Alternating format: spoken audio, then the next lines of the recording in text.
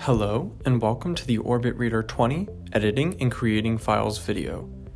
Today, I'm going to go over how to make live edits to files on your Orbit Reader 20, as well as how to create brand new files. Let's begin by opening up the File Manager. To do this, press dot 7. New files can be created from the File Manager and from the Reader. To make a new file, press space plus n, which is dots 1, 3, 4, and 5. Now, begin adding in whatever notes you would like to add for the file. Once you're done typing your notes, press select twice to save the file. By default, the Orbit Reader 20 will save the first 20 characters of the file as the file name. To edit an existing file, press space plus E, which is dots 1 and 5. This will open the current file from the File Manager or Reader in editor mode. While in editor mode, the navigation controls are slightly different when compared to the normal reading mode. To navigate the cursor to the next character, press the right arrow key. Similarly, to navigate the cursor to the previous character, press the left arrow key. To navigate to the next 20 characters, press the right or left bottom pan key. To navigate to the previous 20 characters, press the right or left top pan key. To navigate to the next paragraph, press the down arrow key.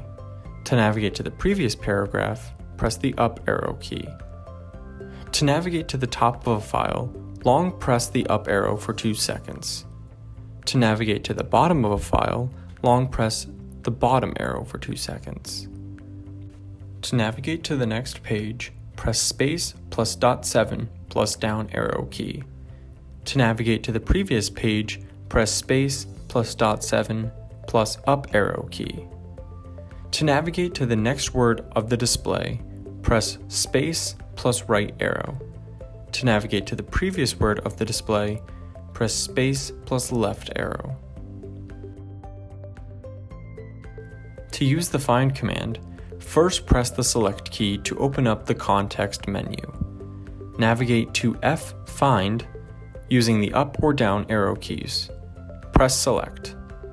Now type your search string and press dot 8 to execute the search. Press dot 8 plus right arrow to search forward. Press dot 8 plus left arrow to search backward. Once you are ready to save the file, press the select key. Navigate to S Save and press select. To cut or copy, place the cursor to the position where you would like to perform the operation. Press select, navigate to C cut or C copy, press select again, then the display will show copied or cut successful. To mark multiple items, press select, then navigate to M mark. Press select again. Marked characters will be shown by arrays dot 7 and 8. The display will show mark set.